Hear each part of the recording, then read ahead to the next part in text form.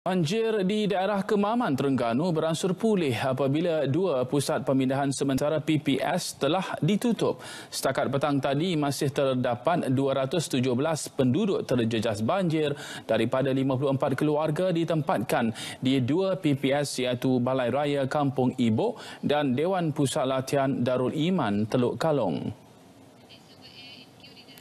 Tinjauan di Kampung Padang Kubu mendapati penduduk mula pulang ke rumah masing-masing untuk membersihkan kediaman mereka yang ditenggelami air sejak semalam. Bagaimanapun rata-rata penduduk ditemui masih bimbang berikutan cuaca tidak sekaligus risiko menyebabkan banjir semula. Cuci-cuci sikit, takut campur ni. Teruk tak rumah? Teruk lah. Kotor. Beli pun teruk kau. Kotor. Air ke dada. Takut lah. Takut lah. Tengok pada hujan ni kan. Oh, pada hujan ni nak turun lagi ni. Takut naik air lagi ya.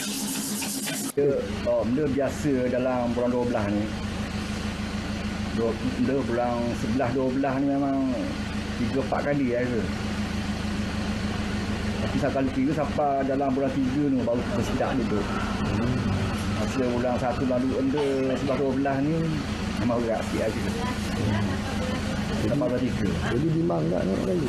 Jadi memang naik pula air ni. Apa ni?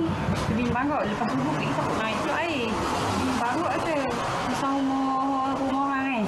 Hmm. Ni maknanya kali pertama lah ni kan? Oh, kali pertama. Ni patutnya awal lagi ni nak naik banjir mana ni naik dah air ni ni banjir ni. So tengok hari ni macam ni cuaca? Hmm, macam dah okey kot. Tapi tak tahu lah. Dia naik lagi ya? Naik lagi saya bimbang kot ni bang.